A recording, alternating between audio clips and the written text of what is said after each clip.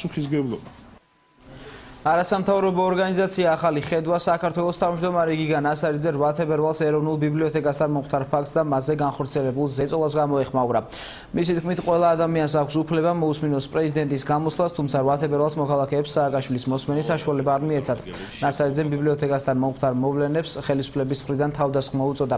არასამთავრობო ორგანიზაციის თავმჯდომარის განცხადებით მომხდარ ფაქტთან დაკავშირებით გამოძიება არაობიექტურად მიმდინარეობს. ხელისუფლების წარმომადგენლების შემდგომმა კომენტარებში გამორიცხული უკვე აღარაფერი არ არის, რადგან მიუხედავად ირაკლი ღარიბაშვილის არაერთგზის განცხადებისა, რომ პოლიცია აპოლიტიკური გახდა, პირიქით ასეთი პოლიტიზირებული შინაგან საქმეთა ministri მეგობრი საქართველოს ჯერარყოლია, ეს აკეთებს პირდაპირ პოლიტიკურ განცხადებებს. ის ამბობს ყოფს იმ აქციაში მონაწილეებს თავის მომხრეებად და მოწინააღმდეგეებად, ეს მის განცხადებაში იყო, მათ თქვა, რომ ჩვენი მომხრეები მოდიოდნენ და ოპოზიციის წარმომადგენლებს დახვდნენ და ასე შემდეგ და ასე შემდეგ. ის პირდაპირ ამბობს, რომ ეს იყო დაგეგმილი პროვოკაცია წინასწარ ყოველგვარი გამოძიების გარეშე, რაც შეასრულა გიგი უგულავამო.